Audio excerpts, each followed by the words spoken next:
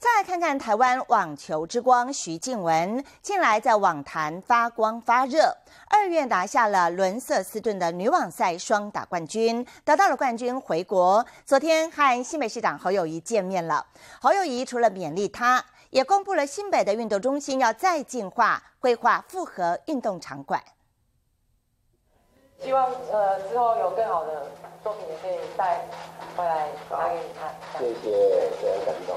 新北市长侯友谊跟网球好手许静文交换礼物。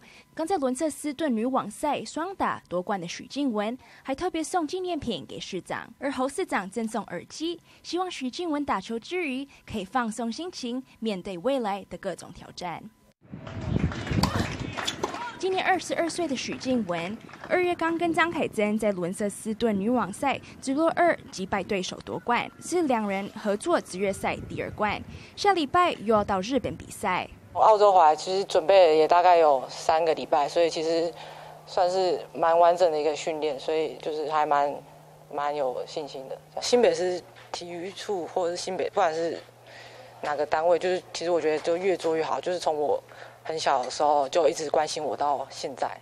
市长公布新北运动中心在进化，将盘点开发据点，规划复合运动服务场馆，满足全民运动及竞赛选手的训练。已经有完成十三座运动中心了啊，目前在规划到十六座运动中心。要求体育处，像板桥人口比较多的地方，甚至新庄或是三重人口极密的地方，我们的运动中心。在人口达到一定的量的时候，我们是不是要再新建？